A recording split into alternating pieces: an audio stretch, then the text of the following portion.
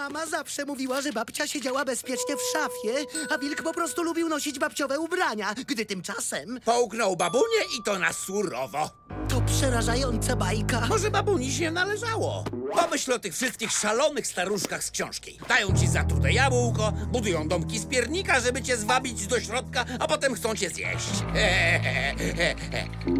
Wcale nie pomogłem, prawda? Johnny, musisz spać w nocy, albo twój mózg nie będzie dobrze działał. Ale za każdym razem śni mi się, że zjada mnie zły wilk. Przykro mi, Johnny, ale kiedy dorastasz, uświadamiasz sobie, że bajki to nie słodkie opowiastki, tylko ostrzeżenia przed życiowymi zagrożeniami. A czy możecie pozbyć się koszmarów, żeby Johnny i nieustannie budzony pies mogli spać? Cóż, jego podświadomość jest hiperznerwicowana i to właśnie napędza koszmary. Ale nasza nowa komora senna stworzy sen, w którym będziesz mógł zmierzyć się z wilkiem i go pokonać. Wtedy twój mózg pozbędzie się nocnego stresu i znów będziesz normalnie spał.